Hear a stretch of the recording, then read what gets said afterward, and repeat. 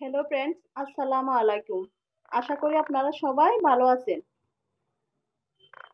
আমি আজ আপনাদের সাথে শেয়ার করতে যাচ্ছি দেশি মুরগি দিয়ে আলুর ঝোল। আমি বড় সাইজের একটা দেশি মুরগি কেটে ধুয়ে পরিষ্কার করে নিয়েছি। আর এদিকে চুলে একটা পাতিল বসিয়ে দিয়েছি। এবং পরিমাণ অনুযায়ী তেলটা দিয়েছি। এখানে নিয়েছি দুইটা তেজপাতা চারটা এলাচ, চার পাঁচটা লং দু টুকরো দারচিনি। তেলটা গরম হলে আমি গরম মশলাগুলো দিয়ে দিব। তেলটা গরম হয়েছে, এখন আমি মশলাগুলো দিয়ে দিতেছি। গরম মশলাগুলোকে আমি হালকা বাদামি কালার করে বেজে নিব।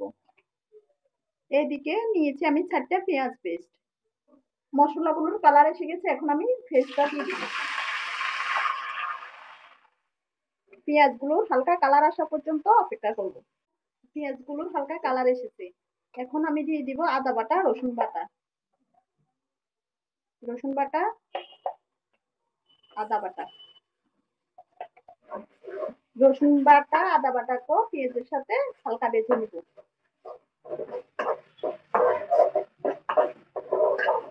এখন আমি দিয়ে দিব গুঁড়ো মশলাগুলো। প্রথমে দিচ্ছি মরিচ গুঁড়া। জিরা, ধনিয়া গুঁড়া। হলুদ গুঁড়া, মাংসের মশলা, পরিমাণ অনুযায়ী লবণ। মশলাগুলো যেন পুড়ে না যায়, এজন্য আমি পরিমাণ মতো পানি দিয়ে দেব।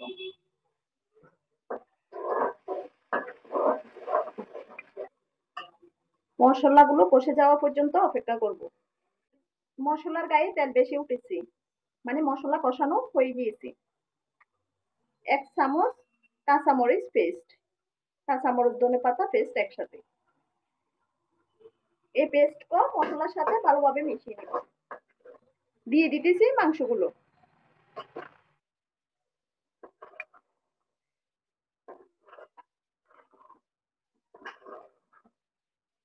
মাংসগুলোকে মশলার সাথে ভালোভাবে মিশিয়ে নেব।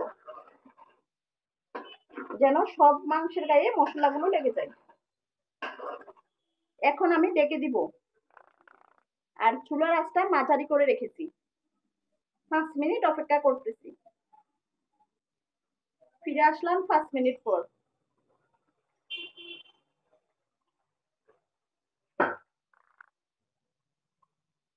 পাঁচ মিনিট পর মাংসের গায়ে থেকে পানি বের হয়ে গিয়েছে।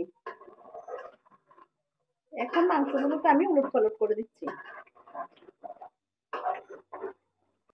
দেশি মুরগি মাংসটা সিদ্ধ হতে সময় লাগবে। তা আমি দেখে চুলার আজকে মিডিয়াম লো করে দিচ্ছি। মাংসটাকে আরও বিশ মিনিট সিদ্ধ করে নিব।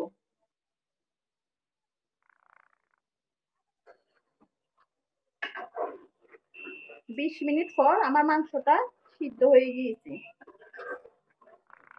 এখানে আমি চারটা আলু কেটে ধুয়ে পরিষ্কার করে নিয়েছি। মাংসের সাথে আলুগুলো দিয়ে দিচ্ছি।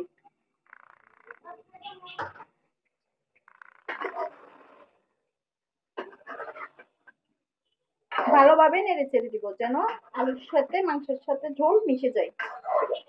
চুলার আঁচটা আমি মাঝারি করে রেখেছি। দেখে দিব, দেখে আরও পাঁচ মিনিট রান্না করব, আলুটা সিদ্ধ হওয়া পর্যন্ত। ফিরে আসলাম পাঁচ মিনিট পর। আলুগুলো আমার সিদ্ধ হয়ে গিয়েছে। এখন আমি জলের পানি অ্যাড করব আমি আমার পরিমাণ অনুযায়ী পানিটা দিয়ে দিচ্ছি।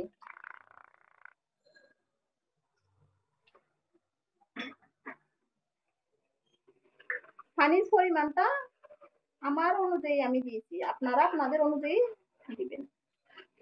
কারণ দেশি মুরগির ঝোলটা আমার কাছে অনেক ভালো লাগে, তাই আমি ঝোলটা একটু বেশি দিই। বড় সাইজের একটা টমেটো কুচি আমি দিয়ে দিতেছি। আবারও নেড়ে দিব চুলার জালটা আমি হাই হিট করে দিয়েছি বলক আসার জন্য। বলক আসলে আমি মিডিয়ামে আর দশ মিনিট মাংসটা রান্না করে নিব। দশ মিনিট পর আমার মাংসটা পুরোপুরি ভাবে হয়ে গিয়েছে। এখন আমি দিয়ে দিব ধনে পাতা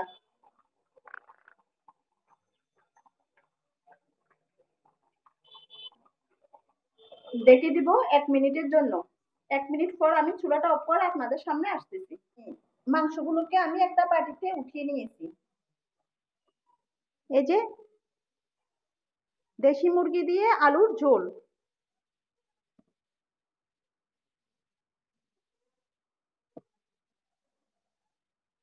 আর আমার রেসিপিটি যদি আপনাদের পছন্দ হয়, অবশ্যই সাবস্ক্রাইব করবেন লাইক কমেন্ট শেয়ার করবেন।